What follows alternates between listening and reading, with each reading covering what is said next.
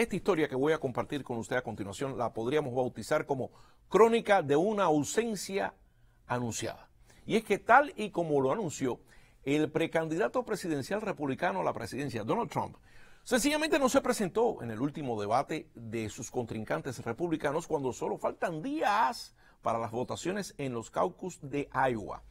Trump le atribuyó su decisión a lo que él consideró como un trato injusto de parte de la presentadora Megyn Kelly de la cadena de noticias Fox.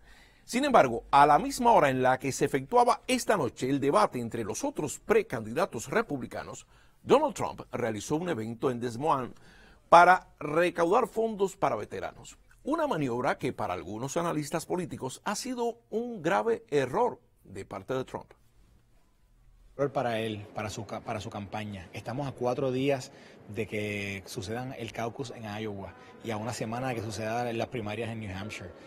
Estamos hablando de que tú necesitas, tú necesitas solidificar ese apoyo y tú no estás en un debate por miedo a enfrentarte a un reportero. ¿Qué mensaje le estás llevando a la gente, a esa gente que va a votar por ti?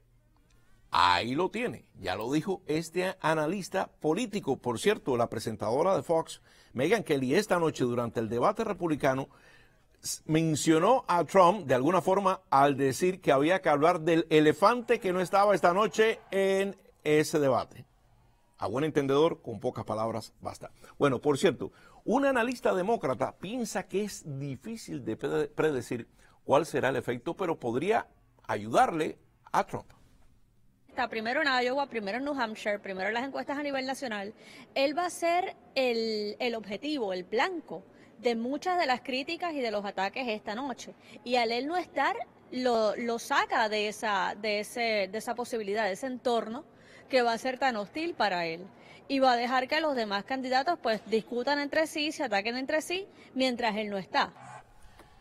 Ahí lo tiene. Bueno, dos de sus rivales por la nominación republicana, el ex gobernador Mike Huckabee y el ex senador Rick Santorum también asistieron al evento alternativo de Trump, aunque aclararon que su participación no implica un apoyo a la candidatura de quien es el líder de las encuestas de su partido. Por su parte, ese señor que ve en pantalla, bueno, ya lo tenía, ahora son varios, me refiero a Donald Trump, declaró que el evento que encabezó esta noche ayudó, dice Trump, a recaudar alrededor de 6 millones de dólares para los veteranos de guerra.